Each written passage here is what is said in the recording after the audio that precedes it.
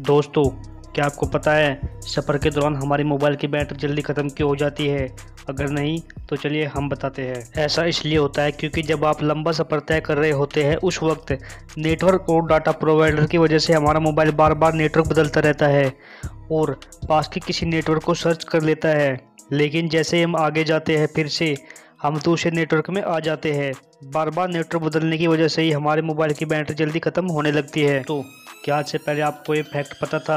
अगर नहीं तो कमेंट सेक्शन बॉक्स में ज़रूर लिखना और वीडियो को लाइक करना। मिलते हैं नेक्स्ट वीडियो में।